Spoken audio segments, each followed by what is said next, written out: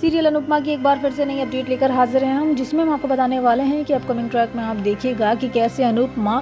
वनराज को birthday wish करने वाली है जी हाँ वनराज का ये बर्थडे काफ़ी स्पेशल होने वाला है क्योंकि अनुपमा बनाने वाली है उसको स्पेशल अनुपमा नहीं चाहती है कि तलाक के बाद ज़रा सा भी किसी को इस बात के एहसास हो कि परिवार में पहले की तरह एकता नहीं है और इसी वजह से